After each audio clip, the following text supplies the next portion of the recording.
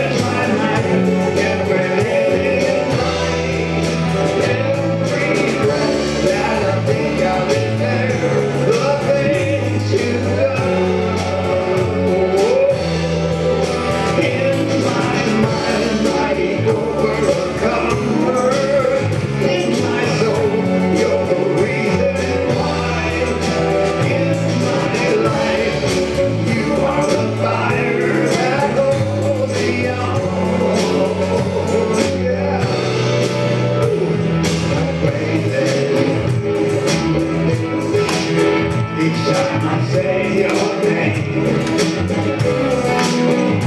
Something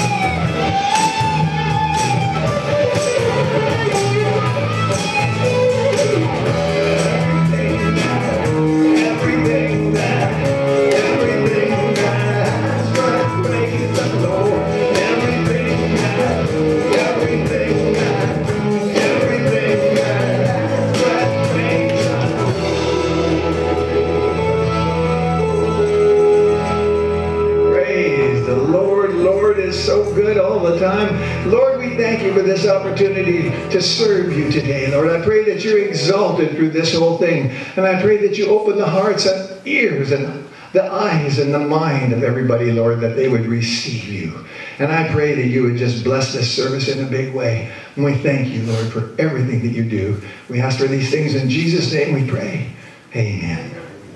Here's one called, Oh, Lord God.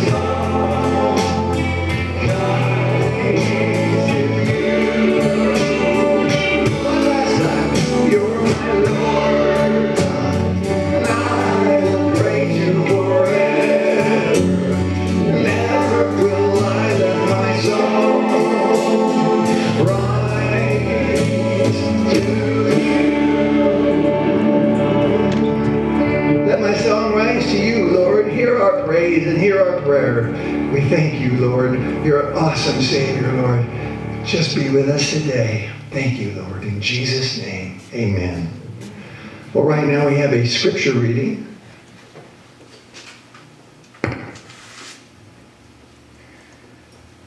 Matthew chapter 16, verses 24 through 28.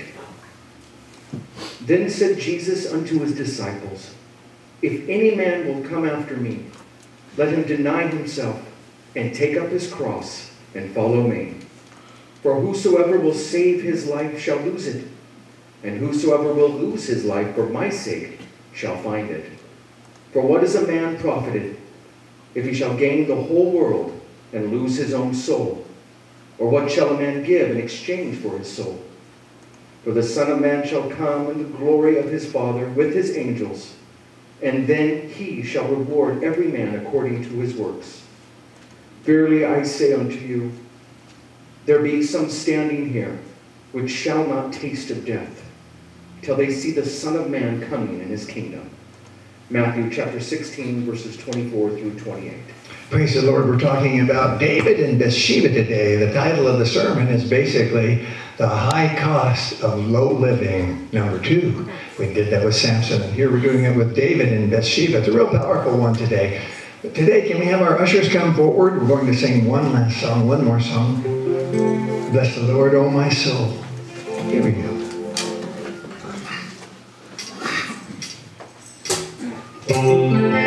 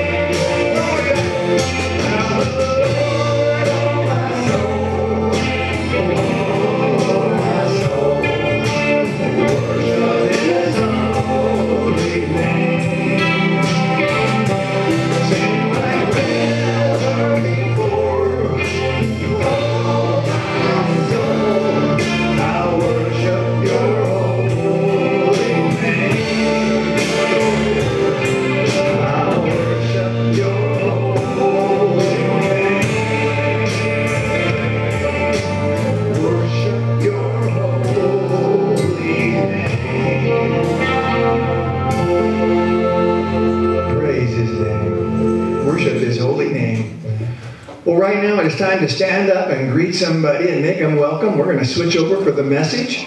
And the children are excused to Children's Church. And we're in the service today. Okay. And so let's make somebody welcome. them. we'll be starting in just one minute.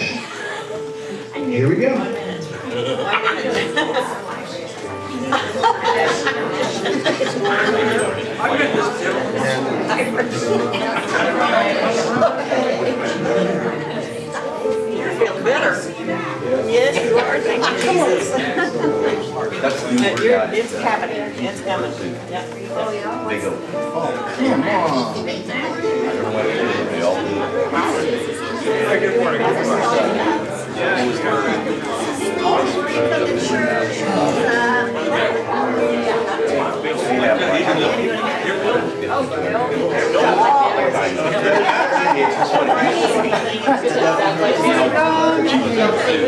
Yeah, that's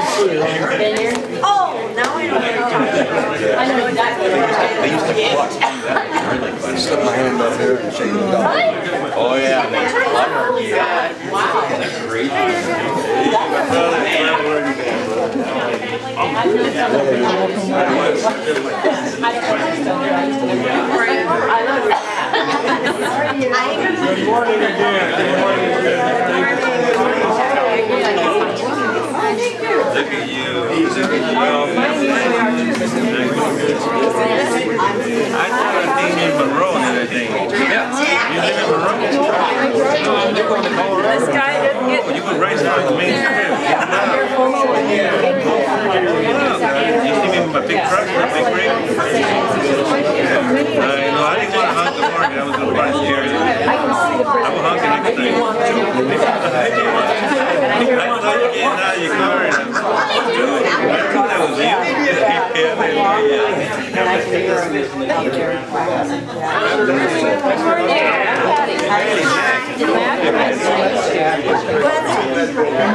yeah, I'm Leslie, brother. How are you? Yeah, you keep it up, brother. Oh, good, good.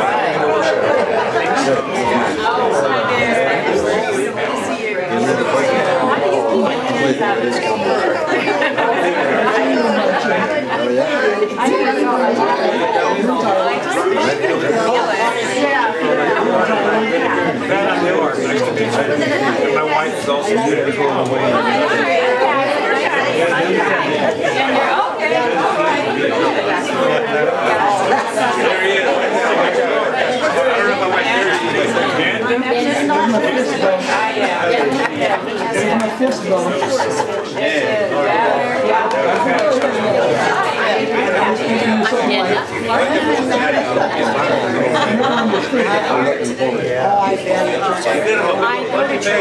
To go. Colorado. There used to be picture here. And yeah, I know where it's at. Oh, here. How far is?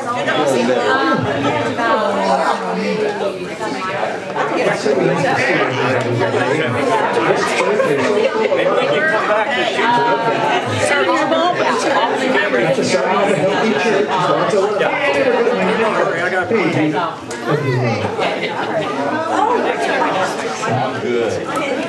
I Let's face it. Good. I know it's gonna be good. Glad you found out what's wrong with you. Testing one, two. Well, we have a nice message today. We're gonna be talking about the high cost of low living, number two, which we're talking I know, about. man. You've been in so David and Bathsheba. We have a couple of scriptures that I want you to, I mean, a couple of uh, sections I want you to be able to go through. We're gonna be in 2 Samuel 11.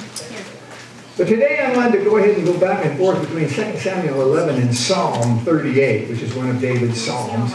We won't go back and forth quickly, but we will be in 2 Samuel 11 first, and then we'll go to Psalms, and then eventually they will get back to 2 Samuel again. You know, the Word of God convicts us, and when we fall astray, it seems like we can constantly have to come back to Him so we can get restored. It's so important. And that's just like David, you know. He did fall away, but he could always find his way back. It makes me think of a story. I love the little story about the little boy that was lost, and, and there was an officer in northern England, and his name was Officer O'Hanlon.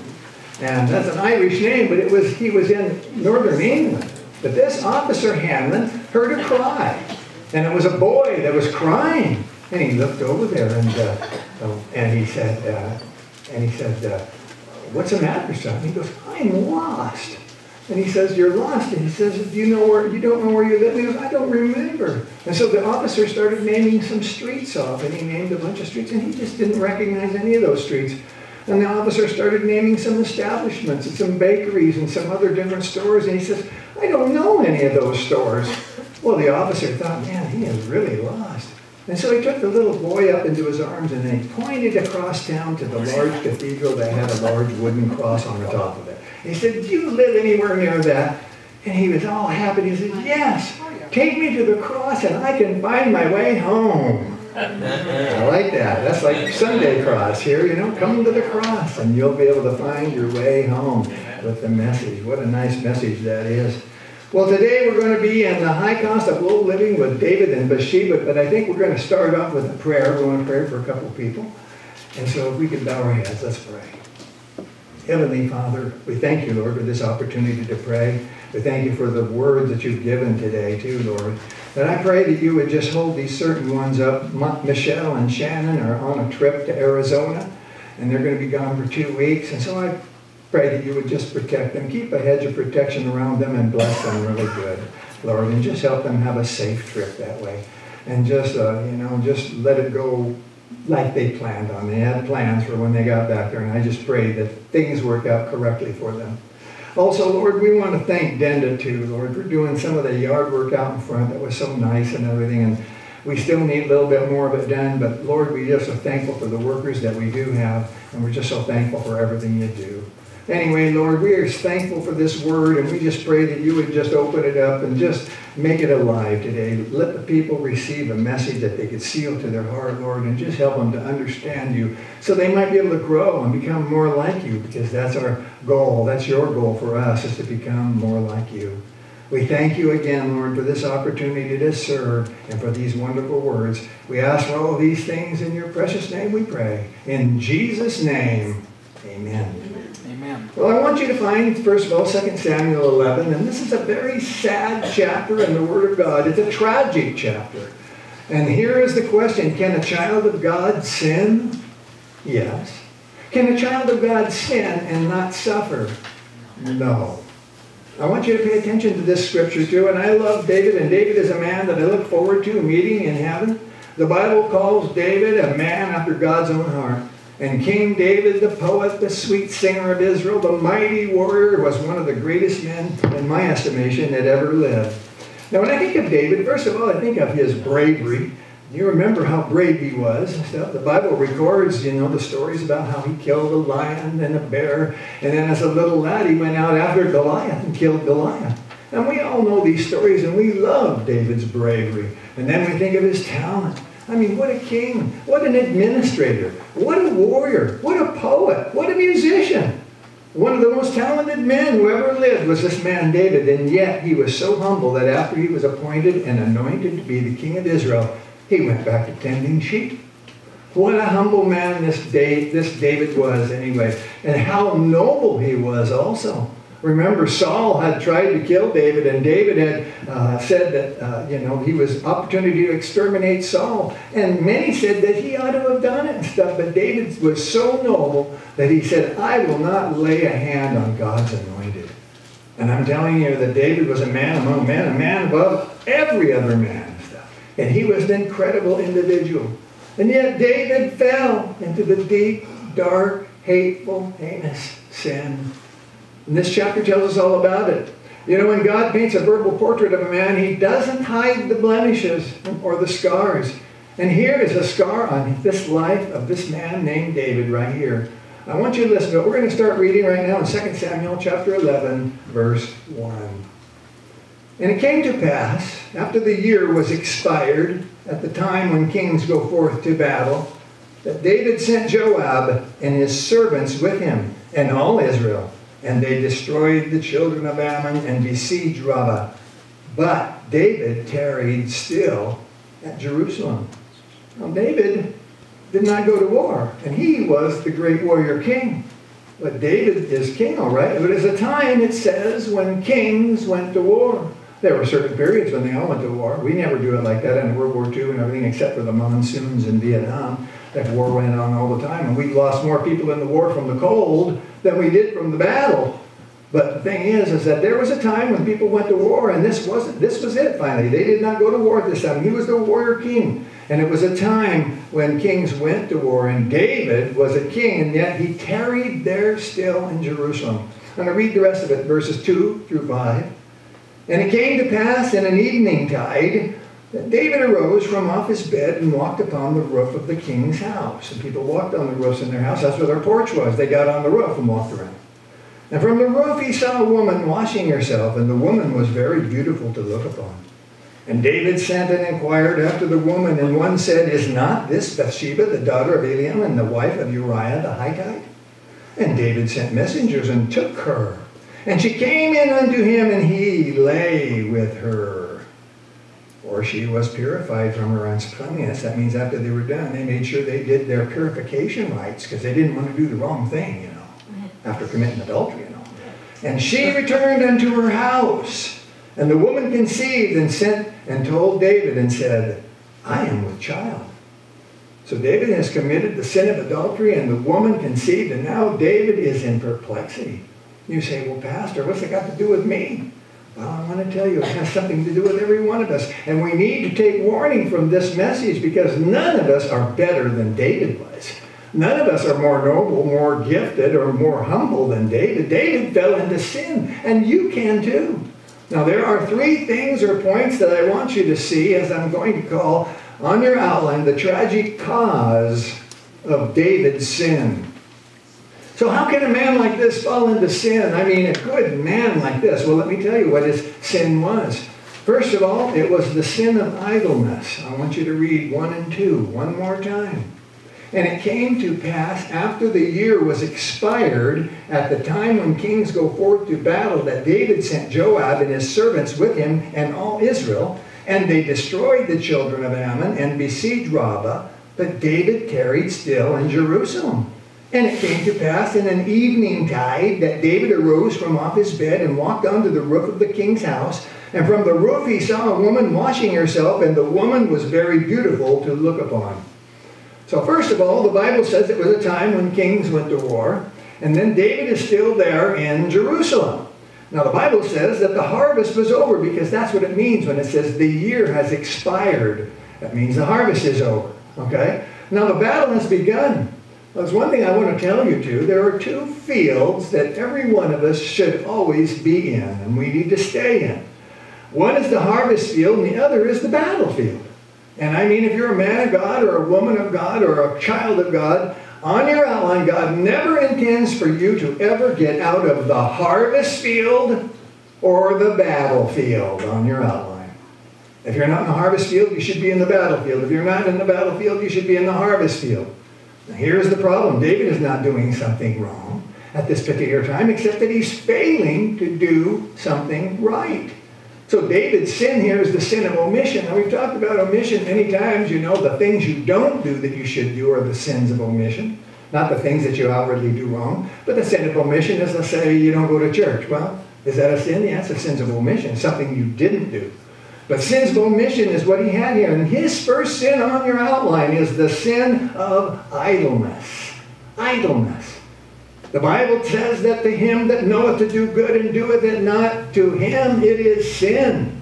And I'm going to tell you something, folks, that every sin ultimately is a sin of omission. Every sin. And it's because if you are doing what you ought to do, you cannot be doing what you ought not to do. Is that not true? And so David should have been with his compatriots at war, but he was not. Well, what was he doing? He was in bed. What was he doing in bed? Well, listen to this. It was in the afternoon. The Bible says in the evening tide or the eventide. That is when the sun is setting. And David is arising from the bed. So he's in bed, lolling around. Now he gets up and goes out and walks and he looks around out on the roof of his house. Now, there is a time for legitimate rest, but you're not supposed to stay in the sack all day and all day long. That's not good. Let me read what it says in Proverbs 24, 33, and 34. It says this. 33 and 34, Don will put it up, there we go. Yet a little sleep, a little slumber, a little folding of the hands to sleep, so shall thy poverty come as one that travaileth, and thy want as an armed man.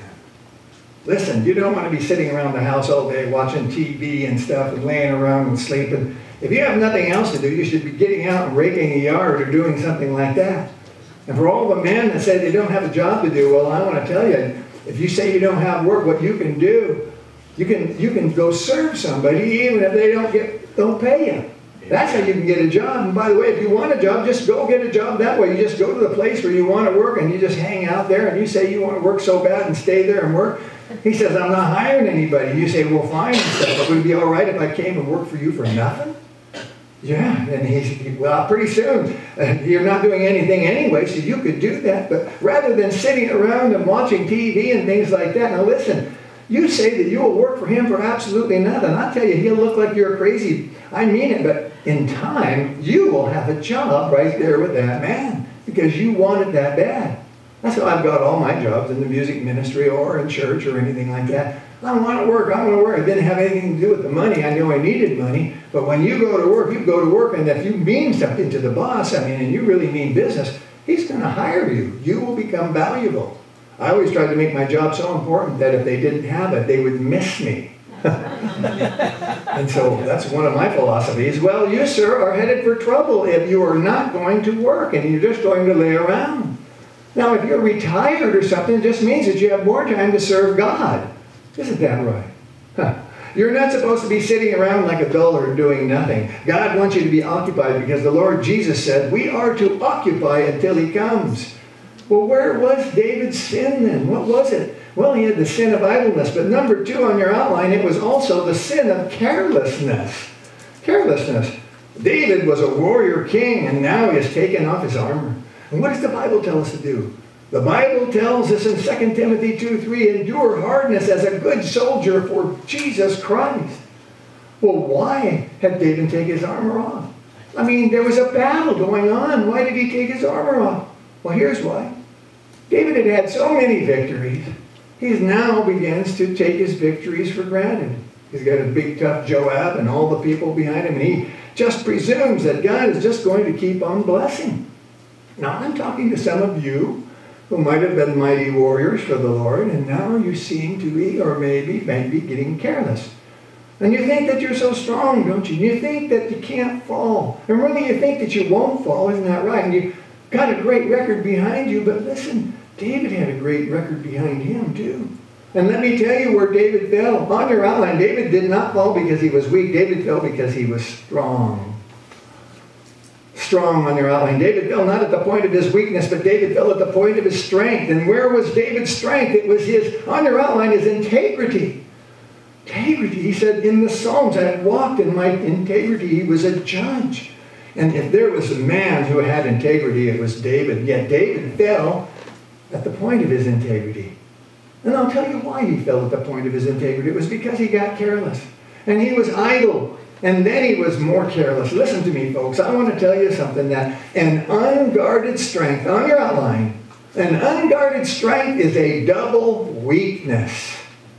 An unguarded strength is a double weakness. I mean, if you study the great men of God and find out if they failed, where they failed at, you're going to find out that they failed at the point of their strength, not their weakness. You know, it's always surprising when people do jobs and they're not that good at it. And they're so worried about doing it. I'm less worried about that because the Lord has a way of blessing the weak. When you think you can do it, you might not be able to. You need the Lord for everything. And sometimes he takes the weak things to confound the, the wise and the strong. But if you study the great men of God, you'll see that they failed in their strength, not their weakness. Like what was Simon Peter's greatest strength? His courage. He said, Oh Lord, I'll go to prison for you, or unto death. He was the one that pulled out the sword and he went after the man in the Garden of Gethsemane and stuff. You remember that? And I'll tell you, you wouldn't want to get in a fist fight with Peter. He was tough. He was a big fisherman. And yet, where did he fail? At the point of his courage. A little girl caused him to curse and deny the Lord Jesus. Matthew 26, 74. Listen, here was a man who failed because of his carelessness. And that's the reason that the Bible says, keep your heart with all diligence. Don't get idle and don't get careless. Now, I'll tell you what, not only was it the sin of idleness, and not only was it the sin of carelessness, number three on your outline, it was the sin of impulsiveness. I mean, David did not plan the sin that day. He had no idea that he would have done such a horrible thing then. I mean, it was not in his plans. He was not planning it. He was not scheming it. He's walking on the rooftop, and everybody's porch was on the rooftop, and he looks over there, and there she was. And the Bible says that he saw her, and the fire of lust began to burn in him. And this was his impulsive. He was impulsively, he thought, and his impulsiveness caused him to sin. He had no idea that he would have done such a thing. Are you listening to me? And sin is a combination of three things. On your outline, it is an undetected weakness, it is an unexpected opportunity, compounded by an unprotected life. That is the reason that you must keep your heart and protect your life. You do not know what is latent in your old flesh. And you say, Well, I've been saved for a long time. My flesh has really improved. Listen, your flesh has not improved one scintilla of an iota at all. It only takes one minute to make that flesh stumble. That is which is flesh is flesh.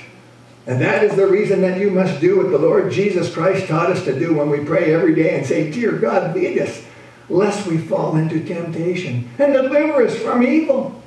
And you bring that mantle of God's protection over your life because if there is an unprotected weakness and an unexpected opportunity and an unprotected life, you may go down. Listen, he was impulsive in his sin.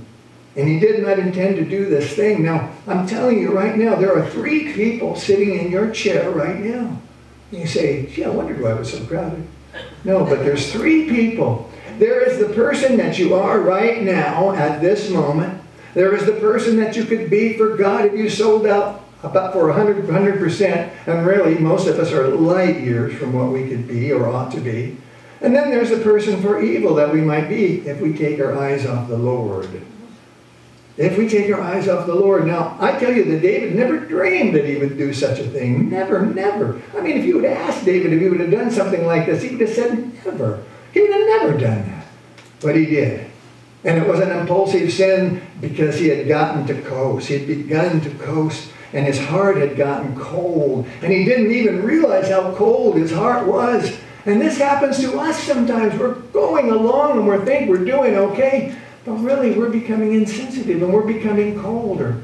And you know, we say when somebody says does something terrible like this, we go, man, wow, he really fell and everything. But the problem is, is that we didn't really know how low they were living.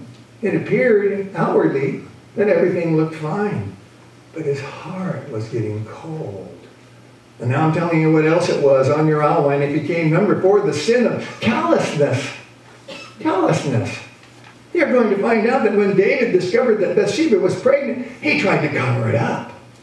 He says, Ah, oh, I know what I'll do. I'm going to bring her husband back home from the battlefield, and they'll spend the night together, and he'll think it's his child. Well, he brought Uriah home from the battlefield, but Uriah loved David so much that he was loyal to his soldiers on the battlefield. He says, I can't go have romance with my wife.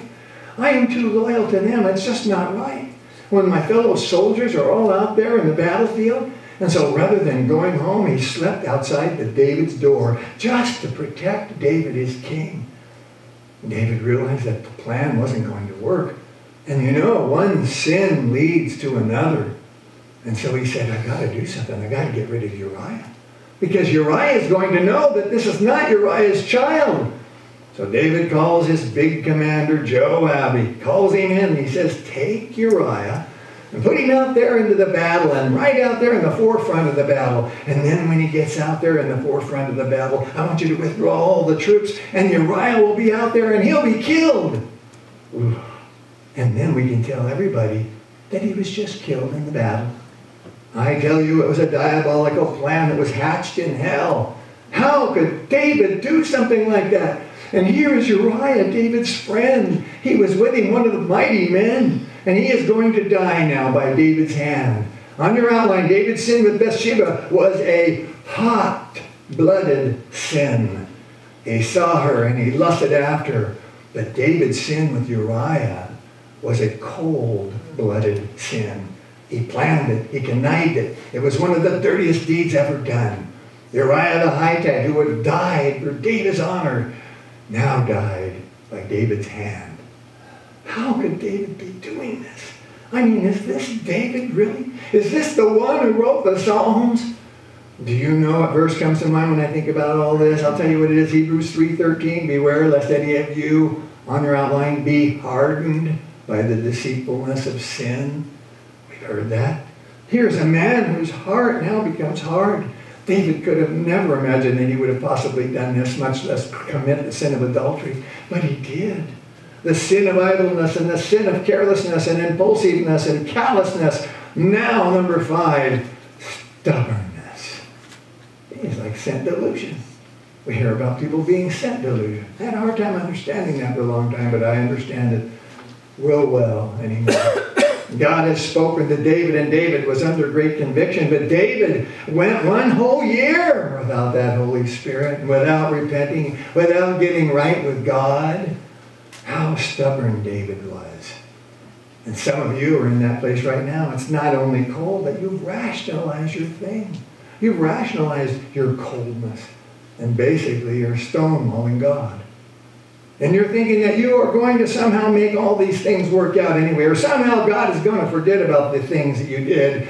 And somehow you think that the statute of limitations is going to run out. And somehow you think that you're going to muddle through and gloss this thing all over. And you stubbornly go on day after day, day after day, thinking maybe God's forgotten. And you know what happens to David? David continued to be a king and he continued to wear that smile and he put on that front even with all of his guilt. That's all he did. And he had that guilt and he had to judge people and there were people in that place that knew about his sin. How can you judge and be righteous when they know what you're really like? But that was the sin and that caused David's sin. Now I want you to listen to the second thing or the second point. I want you to notice not only the tragic cause of it, but I want you to notice, secondly, on your outline, the tremendous cost of it. Listen to the last words that are spoken in 2 Samuel 12, 27, 11, 27, excuse me. 11, 27, it says, And when the mourning was past, of course that's Bathsheba's mourning for seven days, David sent and fed her to his house, and she became his wife and bare him a son. But the thing that David had done displeased the Lord. David knew on your outline that it displeased God. Now, keep your place. I want you to think about something. I want to move to Psalm 38. And here's Psalm 38. We're going to see the tremendous cost of David's sin as he's writing about this sin. And I said in the beginning, can a child of God sin? Yes. Can a child of God sin and not suffer? Absolutely not. Now remember that the Bible said, and this thing displeased the Lord. Well, look how David speaks about this displeasure because he knew it displeased the Lord. Let's start with chapter 38, verses 1 and 2. O Lord, rebuke me not in thy wrath, neither chasten me in thy hot displeasure.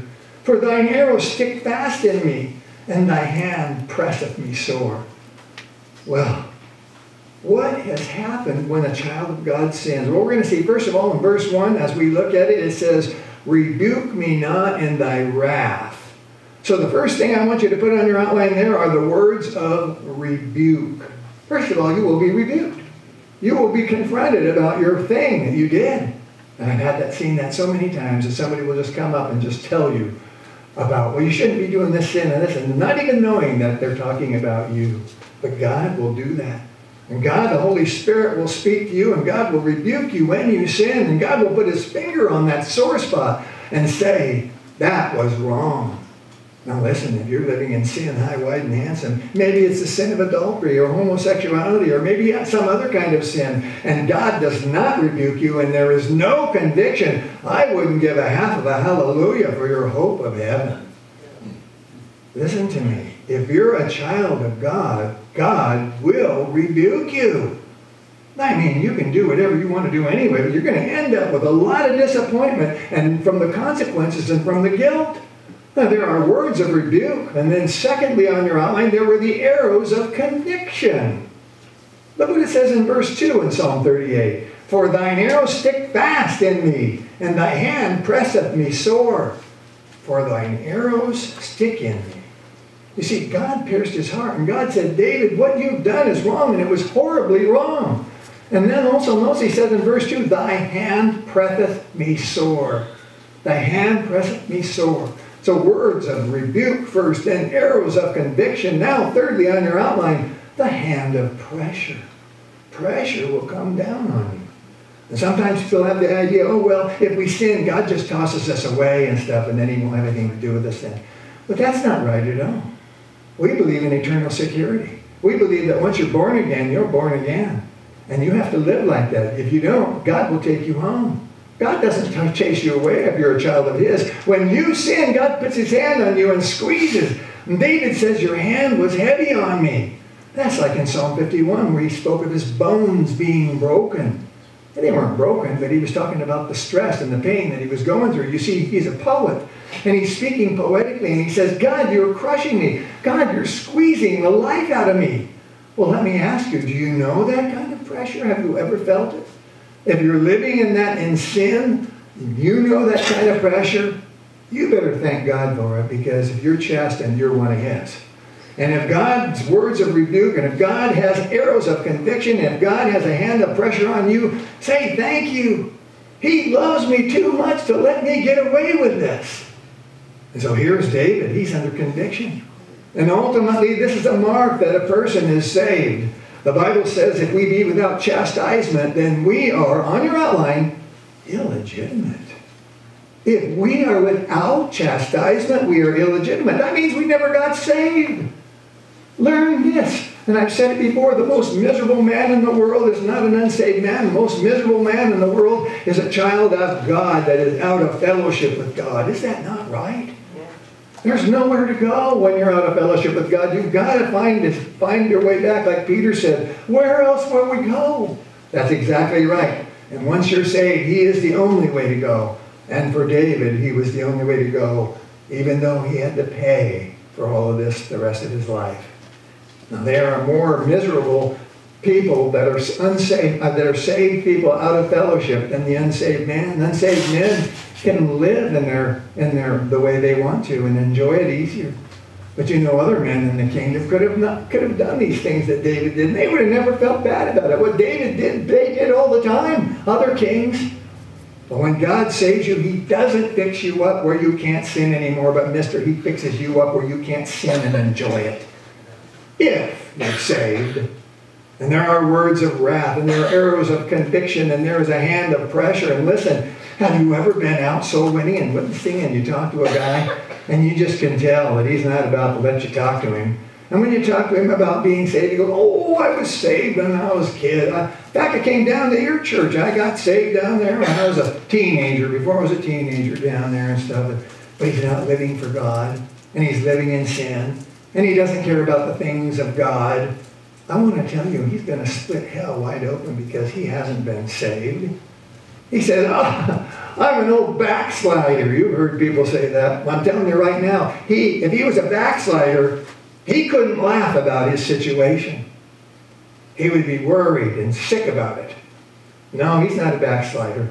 If he was a backslider, he couldn't laugh about it. And I'm telling you that he's never been saved. He didn't lose his salvation. He never had it. If you're a child of God and you're living in sin, he's not going to let you go. And you're not going to be able to get away with it. Let me show you what David's sin did. Look at verse 3 on your outline. Number one, his sin wearied him. It wearied him. Look at verse 3. There's no soundness in my flesh because of thine anger, neither is there any rest in my bones because of my sin. It means night and day and day and night. The thing that David has done in his heart and in his mind, he just can't sleep. And I tell you, a clear conscience is much better than a sleeping pill. And unresolved guilt will sap the strength out of your life and strength that you ought to be given to productive purposes. And his sin wearied him. It wearied him on his decision making and everything. Notice in verse 4, number 2, his sin weighted him on your outline. Weighted him. Look what it says in verse 4 For my iniquities are gone over mine head as a heavy burden. They are too heavy for me. I always think about this story about the pastor that went down to Mexico and he had rented this car from this Mexican who was going to drive him around. And so this Mexican was driving him around, pretty soon they stopped because this pastor had the joy of leading this Mexican to Christ. Well, after they prayed in that little Volkswagen, they were there in and stuff. And the, he said to the pastor, the Mexican, he said, Pastor, let me tell you how it feels. It feels like I've been carrying a great big bag of stones all my life, and I just set them down. What a thing. It sounds like he really was born again. And that's like David's sin. It was a weight. And his sin weighed him. His sin weighted him. His sin wearied him. And number three, his sin wounded him on your outline. Look at verse 5. My wounds stink and are corrupt because of my foolishness. Now, I think he's talking about the corruption on the inside, and we're talking about what happened when the arrow went in him. That arrow that was sticking into him was the arrow of conviction. And we're talking poetically here, but I want to tell you something. You see, sorrow on your outline is a clean wound. It will heal. Sorrow is a clean wound. It'll heal. But guilt is a dirty wound. It only festers until it is cleansed. Guilt is different than sorrow. No, not only did the sin weary him and weighted him and wound him, but number four, on your outline, it worried him. Look at verse 6, what it says here. I am troubled. I am bowed down greatly. I go mourning all the day long. What a miserable man. He's worried about his sin. And I mean, if they would have telephones in that day, every time that telephone rang, he would have jumped. And every time he saw people talking, he'd be wondering, are they talking about me? You know, when he was confronted with Nathaniel and they told him what his sin was, there were people that were listening. And you know, is the word out he keeps thinking? He has no peace. The poem, Trust Me, no torture to poet's name, can match that fear's unutterable pain. He that feels who day and night devoid of rest carries his own accuser within his breast. Number five on your outline, his sin wasted him. Look at verse 7. For my loins are filled with a loathsome disease, and there is no soundness in my flesh. I believe that David had a venereal disease, and that's what he's talking about now. He's talking about a loathsome disease. Now he's talking politically now, and he had a few moments of pleasure, and sin promised much, but it pays little, and his sin now has wasted him. He's wasted him, and now he's just alone there. And he's just having the hardest time of his life being of old age. Don't be worried about having safe sex. You put your attention on sacred sex because that's always safe. Yeah. God's plan for you is one man and one woman, clean marital chastity, pope marital fidelity. But with David, his sin wasted him. His sin has wasted him. What a wasted life this was. God told him not to have all those wives, but he had them. He said, don't multiply wives and horses, but he did. And his life has wasted him, and that's not all because on number six on your outline, his sin weakened him. Look at verse 8. I am feeble, it says here. I am feeble and sore broken. I have roared by reason of the disquietness of my heart. He used to be the mighty warrior. He used to, now he's broken of the body, and he's broken in spirit too. And sin promises much, but it pays so little. Let me show you how weak he was. In the next verse, it speaks of himself being blind and deaf and dumb. Listen, he says this in verse 10. Look what it says. My heart panteth, my strength faileth me. As for the light of mine eyes, it also is gone from me.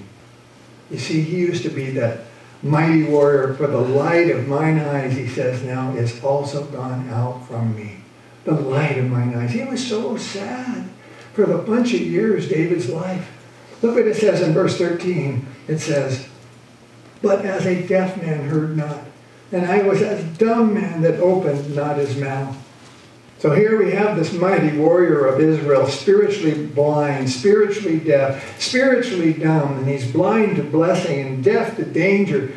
And no longer is he speaking and singing and praising and worshiping the Lord God.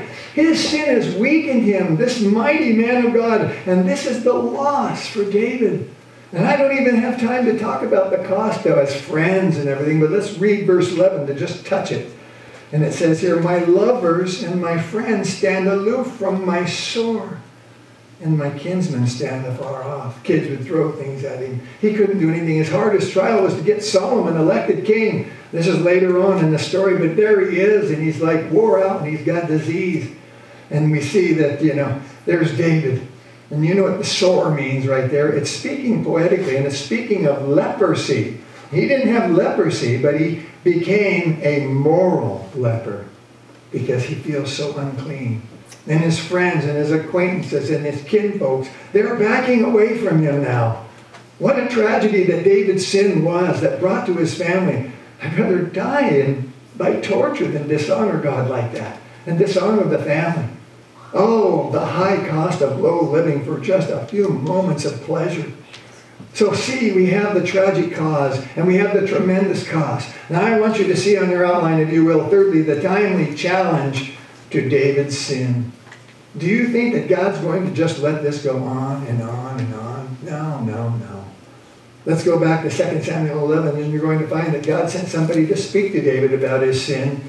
There's that confrontation. Look, if you will, when Nathan speaks to him, look what it says in 2 Samuel 12, verse 9 says this Wherefore hast thou despised the commandment of the Lord? He says he despises the commandments of the Lord because he did this thing. Nathan told David, and you do evil in his sight. Thou hast killed Uriah the Hittite with the sword, and hast taken his wife to be thy wife, and hast slain him with the sword of the children of Ammon. And so we see, now let me, let me tell you how God deals with this man, though, here when he's in this kind of a sin. And he does this with others too when they're in this type of a sin. First of all, on your outline, there is a first of all a conviction. You get a conviction.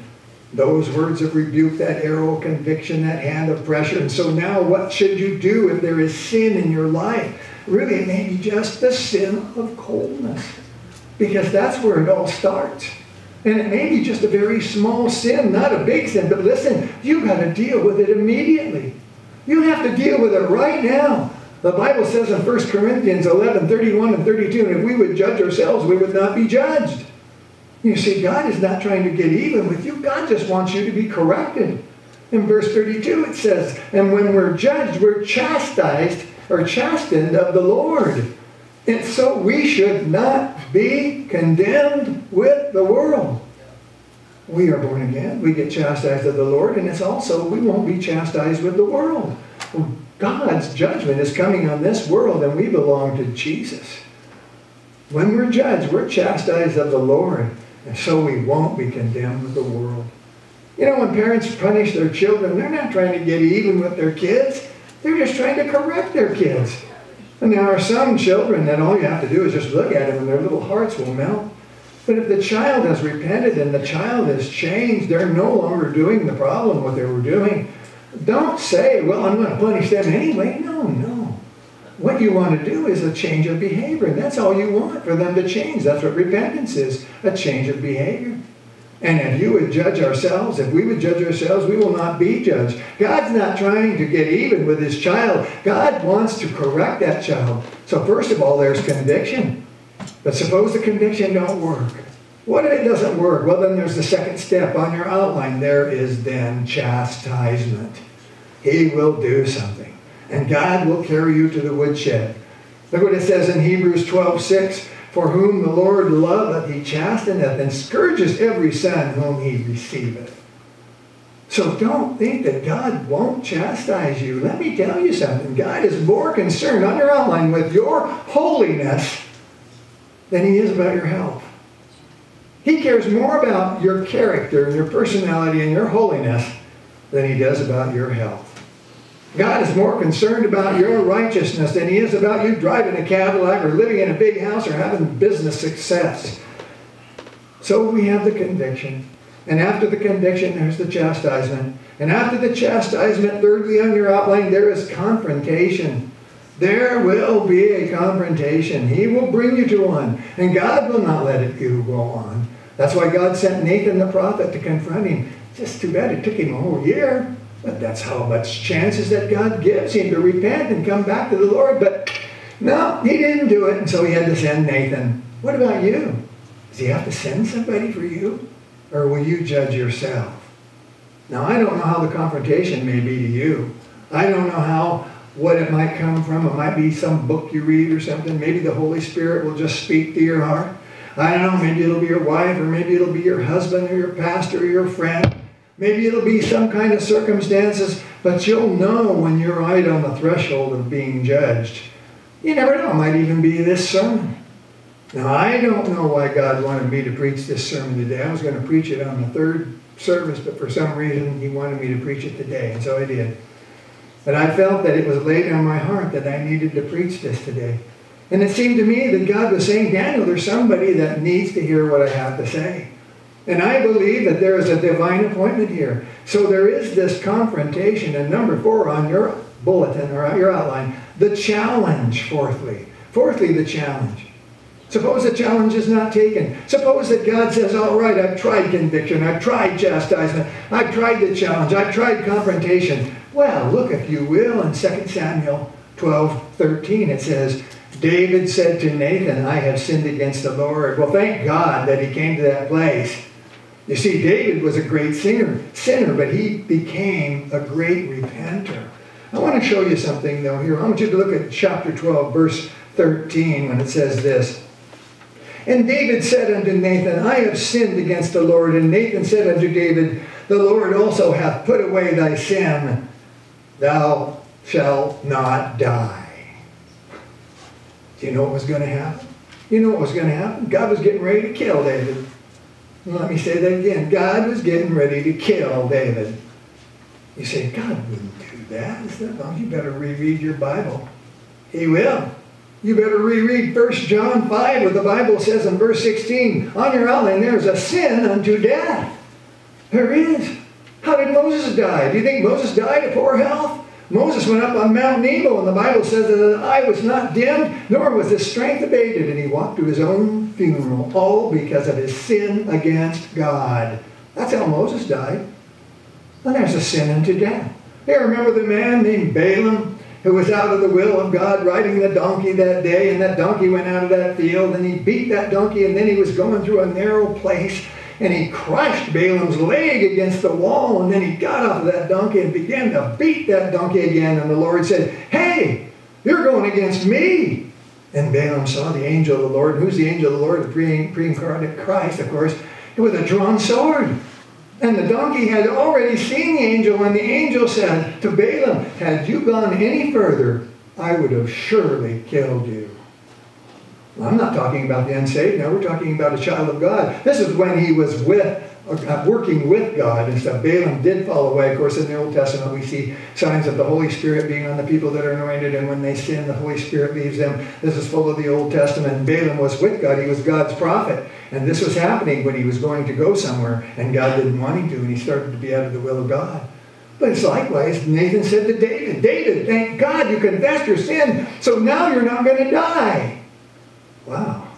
So there was a man, I remembered a story I was told about a guy went to church and a man was led by Christ and he was like a brother to the pastor. They were so close and it was such a, but for some reason this man, this leader in the church got some silly little sin in his heart. I didn't want to bring it up. And it dealt primarily with pride. Well, the pastor confronted him and said, hey, Jack, you're a good man. Don't let that be in your heart and your life. You have to get right with God. You have to get right with God. And Jack said, well, I'm not going to do it this time. And Pastor said, well, don't, wait a minute. You just say that you need help or something. Don't say that you're not going to do it. And Jack said, I don't care. I don't, I don't care. I'm not going to do it. And the pastor said, but Jack, the Bible says, keep back thy servant from presumptuous sin. And Jack said, I don't care what the Bible says. And the pastor said, now wait a minute, Jack. When you do that, you challenge God, and that's arrogance. We've talked many times about mocking God. I've had many stories about mocking God and what happens to them. And this bold and blatant sin against God, he said. God is going to judge you, Jack. And do you know what Jack said? He said, he can do with me what he wants and stuff. I'm tired of it. I'm not going to change. And the pastor felt a cold chill come over him. And he said, Jack, take it back. He said, well, I've said it. The pastor said, Jack, take it back. He says, I'm not going to do it. And the pastor just was amazed. He couldn't believe his ears. He's been going to church all this time, and he turned his back on God, and he knew he was saved. And he said, Well, Jack, I'm afraid for you. Well, the pastor went and told a friend, he said, I'm putting you on notice. I want you to watch this whole thing. He says, I want you to bear witness. You watch, and I want you to see what's about to happen. Well, the pastor was out of town the next week, and he got a phone call, and the person was, he said, Pastor, did you hear about Jack? And he said, No. Jack fell dead. In just a few days, Jack died. And he fell dead with no reason for him to fall dead. This is a true story. And he fell dead with no reason for him to fall dead. And the pastor said, But I'm not surprised, but I'm so saddened for it. Listen to me, folks. If you step out of the will of God, if you're truly born again, you better watch out. And you better be thankful when you are chastened, because that means that God does love you, and He wants to bring you back to the fold and make you right with God. He wants to put you into fellowship so you will have the joy that comes from knowing Him. And the Bible says that there is a sin unto death. Now, I want you to think about it like this. Let's say you had a little child and you took that child to a birthday party. And that child is smearing the cake and pulling the hair of the little girls and he's ripping the presents. And you're his mom, and the first thing you want to do is correct him. You speak to him, and that doesn't, if he doesn't listen, then you take him out and you spank him. And if he gets worse, what do you do? You say, We're going home. I'm going to take you home. It works the same way. If you're a child of God that gets into sin, does that mean you're not going to go to heaven? No. But it may mean you're going to get there a lot sooner. You know, an out of fellowship Christian, a poor, lukewarm Christian, is worse for the church than the unsaved world. The unsaved world doesn't know about God like you do, but when you say you're a Christian and you live like a heathen, you're a disgrace. You're a disgrace. And we're going home. I'm taking you home, they'll say. And if that child gets into sin, he, you know, you're gonna, he's gonna take you home. It may be that he'll get there a lot quicker. It's just like when Moses went, he's in heaven, and Moses went up to Mount Nebo, and his eye was not dim, and his strength was not abated. And Balaam would have gone any farther, God would have killed him. If David would have not been repented, God would have killed him. And I want to tell you, if you're living in sin, God is not going, is, and God is not dealing with you. Do you know what you need to do? You need to get right with God. You need to be born again. Because the wrath of God is on all of the unsaved. And if you want to get that wrath of God off of you, you better become born again. And if you're born again, you need to learn to live the life. You see, God is serious about your life. On your outline, He wants you to live a righteous and holy life. Well, you say, Pastor, that's good, but boy, I hope they heard this message. But I'm talking to everyone. I'm talking to you. And you say, well, not me. I don't commit adultery. I don't commit murder. But that wasn't David's problem, what we're talking about. David's problem on your outline was the coldness of his heart. That's where it starts. That's where it began. He became lukewarm. You know, you have to renew your love with the Lord every day. You need to love Him every day. It's like people say that I'm married, but I haven't seen my wife for 30 years. You're not married. Well, we're dealing with you now, and David may have been at the point that you're at right now, and his heart got cold. He just got complacent. He just got so he wasn't thinking about the things of God. He was just thinking about the world and thinking about things to make him happy. But don't forget that he was the mighty warrior, the one who loved God with all of his heart. But now he puts his armor on. And now he's idle. Now he's lazy. Now he's no longer looking for God. And God is calling some of you today to renew your vows to Jesus. He wants you to get right with Him and start again afresh. And there are some that need, need to do that. So just tell God, God, I haven't committed adultery. Maybe I haven't committed murder, but anymore, maybe I don't seem to love you as much as I used to. Maybe I want to love you more, Lord. I've been lazy. I've been idle and I've had an unguarded strength, and maybe, maybe it's a double weakness. So please restore me. And you know something? He will. He will. Because he is an awesome, awesome God. Don't ever, ever forget, though, that when you stray away from God, that there is a high cost to low living. Let's pray. Heavenly Father, we thank you, Lord, for your word. Lord, we just thank you for the instruction that you give us, teaching us, Lord. Help us make it more, make us more like you. Predestination is us becoming more like you. Lord, I pray that you would just strengthen us in our walk. Help us to seek you for all things. Help us to count our blessings. And help us to realize that all good things come from you. Help us to recognize that you are the most important thing there is, more important than everything. And when we put you first, all the other things fall in place. Because, Lord, we understand you want us to be happy. You want us to have the joy that comes from knowing you. But you want us to have the joy for the things that is our desire. Lord, help us to make our will your will. Help us teach us that we don't pray for things that are out of your will. But Lord, we just thank you again for hearing our prayer today. We turn our lives over to you again, like right now, and we thank you and ask for these things. In your precious name we pray. In Jesus' name, amen. Praise the Lord. Okay, we got one last song. It sounded like my battery's going out with that volume going up and down like that. But if we could stand together, we'll sing, I sing praises to your name. And then I will release you. Here we go. I sing praises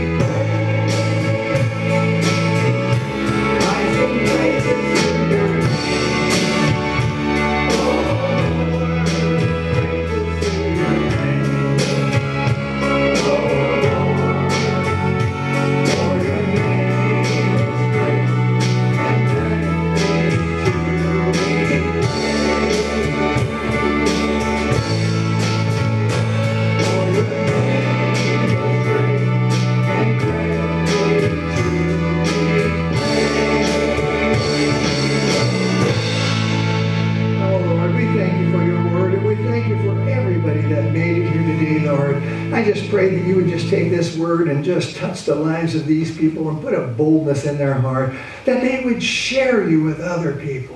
Help them to share the good news with other people, Lord. We found in Matthew, I mean in Malachi 3:16, it talks about the book of remembrance for those who love to talk about the Lord. Oh, we love to talk about him. Lord, just bless these people today. Make them strong and help them to know that all good things come from you. Help them to have a spring in their step and joy in their heart from the fellowship they have because they're right with you.